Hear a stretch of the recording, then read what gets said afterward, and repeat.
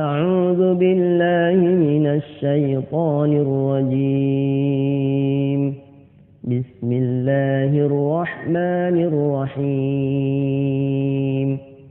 مولاي صل وسلم دائما أبدا على حبيبك ممدوحا بفرقاني حب الرسول وحب الآل ركناني. لا فرق بينهما يا أهل إيماني. من ود طه ولا يرضى عشيرته فهو المداهن والعاسي لرحماني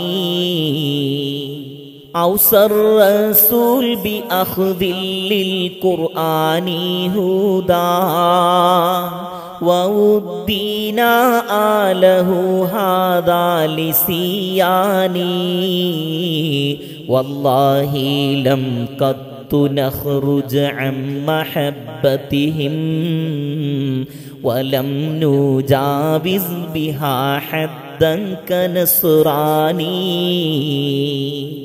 فالله آمير مولانا يسائلنا. ودا بقرباه في الشورى بفرقاني. يا للبيب لمن يتلوه ثم جفا. أهل النبي فسحقا للبذي الجاني. آل النبي ولو قلت ملاحتهم هم كالمناسيخ من آيات قرآني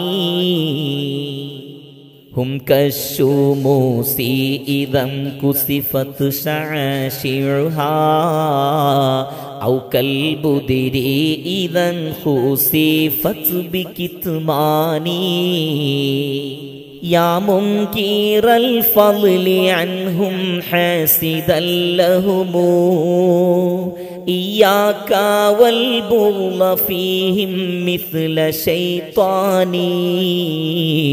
إن الخنافيس لم شمت شذا مسكي. لم تقدرن على مشي وطيراني. شم اللخوم هم من شمها يسكم أو ذاك هامات حالا غير غشياني وهم نجاب نخاب سادة سفن ينجو بها غارق في بحر طغياني لم ندري في الأرض من يجفو محبتهم إلا البوزيخات من جردان مرواني يجذو بذكراهم الحادي ويعشقهم. وفد وطود وماش بين ركباني.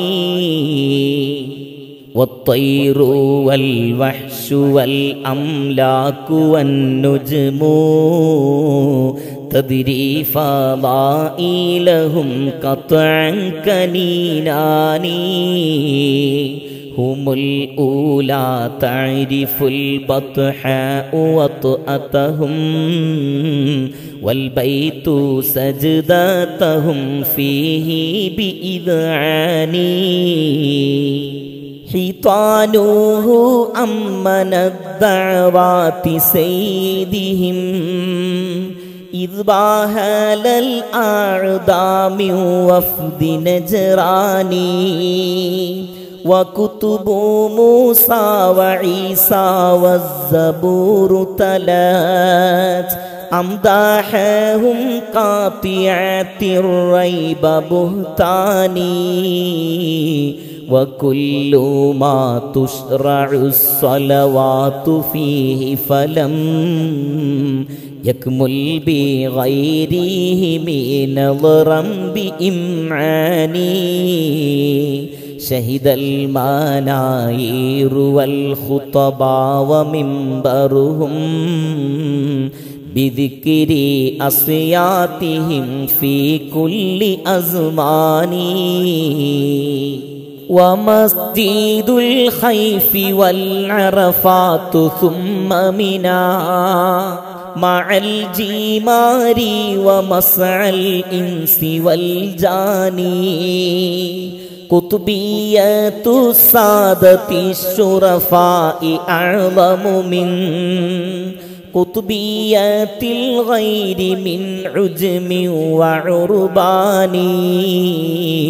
وكل وصف كذا دلت عليه ومن يقنط بسورة أحزاب بتبيان.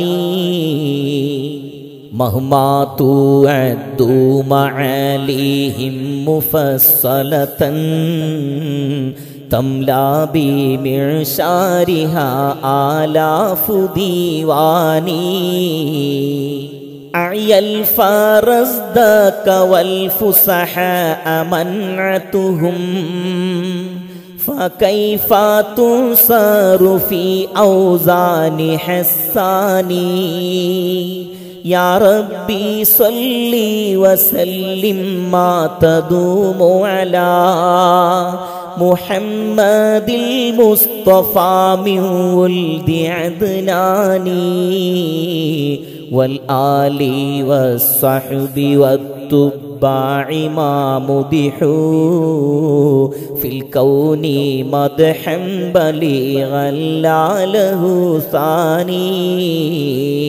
رب اغفرا وارحمن المادحين لهم. والسامعيهم ومكريهم بألواني. مولاي صل وسلم دائما أبدا على حبيبك ممدوحا بفرقاني. صلى الله على محمد صلى الله عليه وسلم. صلى الله على محمد صلى الله عليه وسلم.